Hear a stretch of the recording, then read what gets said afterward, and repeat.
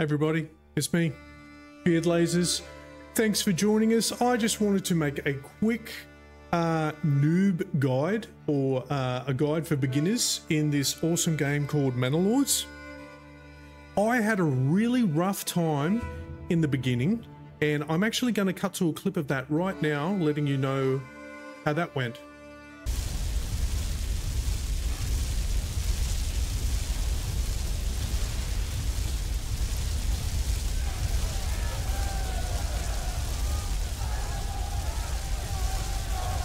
Well, well, well.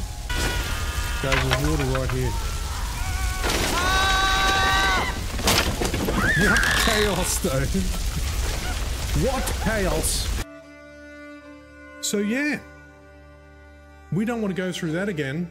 So, what we're going to do is we're going to give you uh, a few tips and tricks on uh, how to get this game started. I'm not into city builders, I'm not a big experienced person on that. So, I really would have appreciated something uh, very short and sweet like this of just how to get these things started. So that's what I'm going to do for you right now. So um, let's have a look at the game here.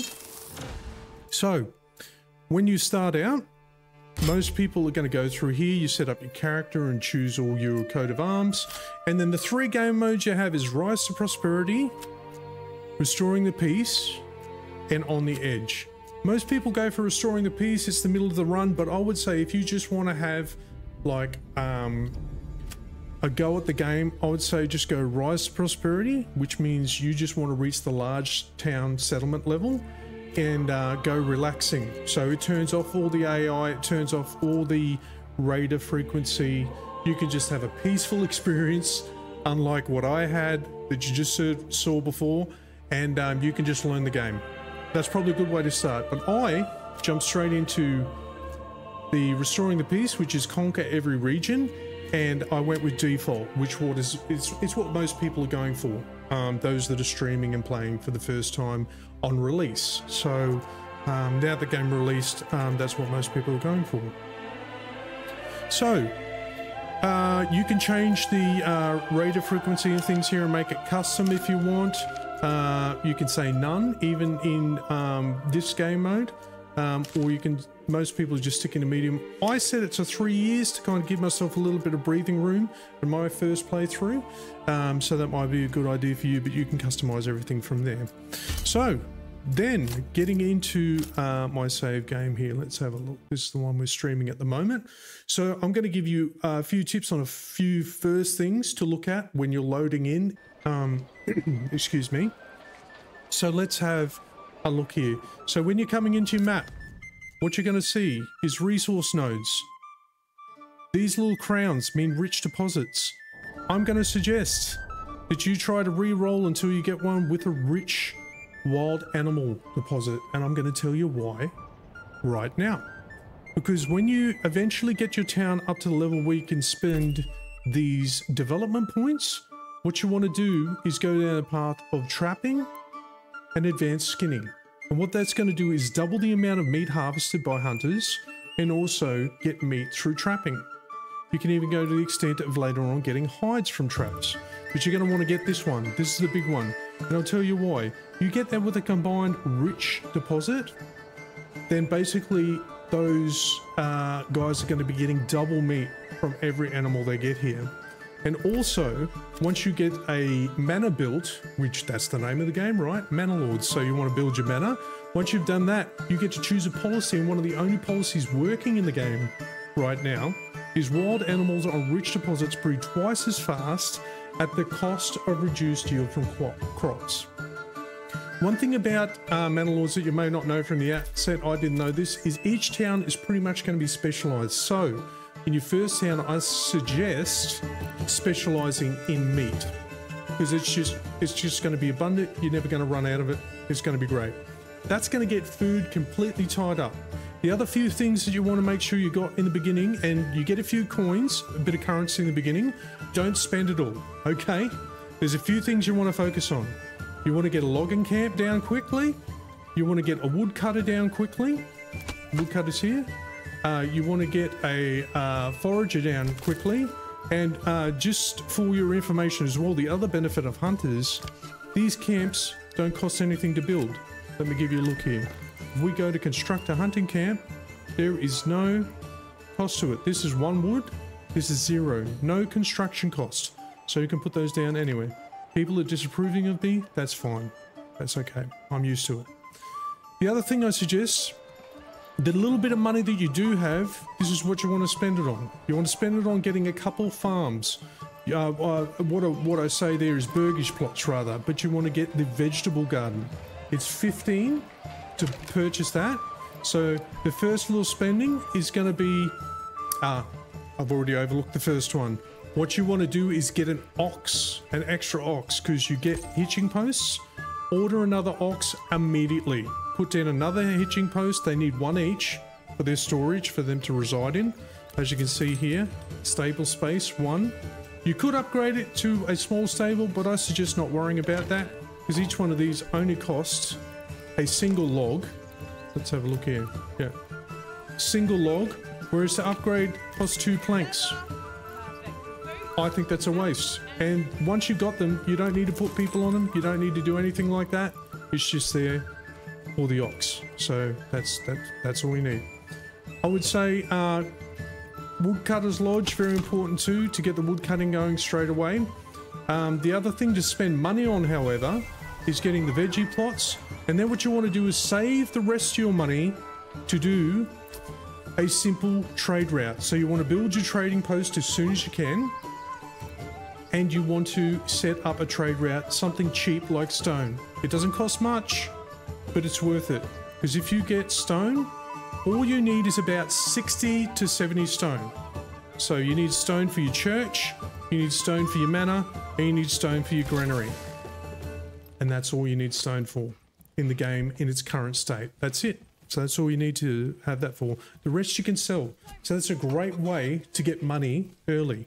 Once you've got that set up, um, the other thing is to get your church built really early too, because that goes a long way to getting your approval. Church level and uh, good supply to your people are the two major ways that you get happiness, essentially. And if this is over 50%, you're getting one family per month, I believe. If it gets over 70 to 75%, I think you're getting two families per month, which is really good for your growth, okay? So that's very important. The other thing um, to be aware of, this is kind of like a semi advanced thing, but once you get the animals and everything going, you're getting a lot of hides, right? These guys are bringing in a lot of hides. Um, you don't really see them because they're getting transported immediately to my tannery. So when they bring them over here, they make leather, and that all you have to do to get a clothing store at these guys. So when you look at this and you're like, why? How can? I, how do I get clothing store supply? Get a tannery just get a tannery. That'll that'll make people put these stalls in. And the thing to know about marketplaces, so when you're building residential, you're looking in here and you're like, oh, they're saying they need marketplaces. Have those spread out, little ones everywhere. I've got one here, I've got one over here, I've got one here that's being made now, I've got one here, and I've got one here. Just have little ones. Because if you put a big one in, they'll fill that one up first, and these people are lazy. They don't want to go anywhere for their goods, okay? So you want your markets to be spread out because they'll only go to the nearest ones. And that's what gets me this disapproval sometimes. Saying that, hey, I'm not getting food stalls. Okay, well, all right. Another thing is to keep a lot of guys in your uh, storehouses because um, they're going to be transporting those goods around and setting up those stalls and the, granaries, the granaries as well. Um, good to have them in there as well because they set up stalls. So that's the good uh, tips for the initial stuff. So you want to be making sure that you're uh, putting down those initial buildings to get your um, supplies. So your timber, um, your meat, and your berries. Uh, you want to make sure that you're spending your first money on uh, your veggie plot, uh, your ox, most most importantly your ox, because um, they get the logs around. That's the only way to get the logs around your uh, your actual city, and then you want to set set up your trade routes. Okay, so and the the thing that I was getting to before with um, getting the hides and everything as well is if you get a uh, a plot to turn into a uh, where is it cobbler's shop cobblers make shoes because of course they do Yeah, they make shoes. And um, what they can do then, shoes is another great way to get money. I'm only getting one at the moment because everyone's got shoes, but um, I, I oversold them a bit, so I'm only getting one for one. But in the beginning, you're getting eight. So you're getting eight currency up here for each uh, pair of shoes that are sold. And if you've got that many hunters doing them, that many hides, and your tanners on full, I had three guys in here for a while, you were just going to be pumping out so many pairs of shoes. The excess ones will go to your people, depending on what you set them in your uh, your actual trade posts. Um, but uh, that's going to make you a lot of currency in the beginning. So whenever things go bad, like you saw the fire that broke out earlier, that was from people invading. So another tip on military that they don't really tell you too much is when you come in here, and at first it says 20 out of 36 because you don't have enough spears and shields. So that's something you can work on if you on, on if you want to, or you can import them. But one thing you get for free, um, free is retinue. So you get five out of 12 to start with. Okay. And I thought, how, why do I only get five out of 12? How do I get more of those? How you get more of those is you click on the retinue. So you highlight it there. You go retinue customization. Doesn't make much sense. And then you go in here, recruit man at arms. So I've got 20 out of 24 at the moment. You can see my currency here. Boom, boom. Now I've got 22 out of 24. Let's top them up. Now I've got 24 out of 24. So that's how you do that. That comes from this currency up here, which you're going to need your manor to do taxes. So I would say get your manor built pretty quickly as well. Um, don't muck around with that. Try and get it built as quickly as you can. You're going to need a few things for that, saw pit, etc. You'll figure it out. Um, I'm just covering the basics off in this one. So, um, but once you've got that there, um, you can have your full retinue and you can um, select them there. Uh, what you want to do to increase your retinue is um, once you uh, go into your manor here and go to your open castle planner, here we go, Garrison Tower increases maximum retinue size by 12. So you then go from 12 to 24. So it doubles that retinue size. Pretty important to avoid those combat situations that I ran into, right? So once you've done that, all you need is that that currency coming in from your taxes. And if you're keeping your people happy with your church and your decent flow of food and goods, then that's just going to go up and you're going to be able to have your taxes, which are over here at your manor. Set your taxes.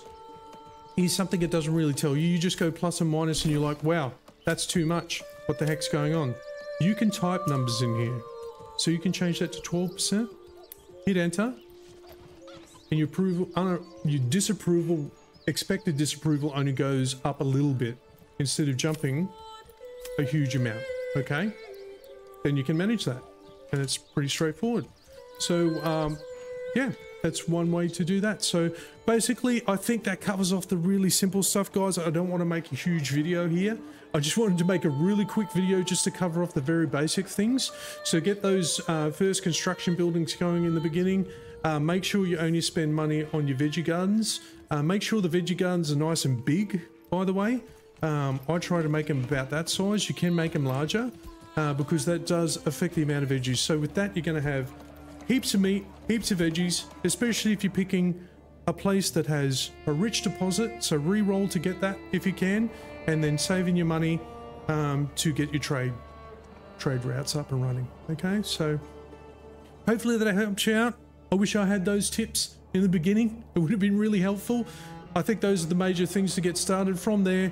You'll be able to experiment, have fun, sort out what kind of um, guys you want to recruit. Uh, so like you know, going in here and and uh, mucking around with seeing what different type of mercenaries can have. Once you've got the currency, you can you can experiment around with that kind of stuff, right? So anyway, guys, uh, I'm going to end it there and leave you with those tips. So that's your noob tips or your beginner's guide uh, for Manor Lords. And I've been having a great amount of fun with this game and the community's been loving it. So if you want to join us and check it out, uh, you can find us at twitch.tv slash beardlasers or uh, youtube.com forward slash lasers. We'd love to have you. Uh, follow, like, subscribe, hit that bell. You know the rest. Uh, but yeah, as always, until I see you guys, have a good one. Bye for now.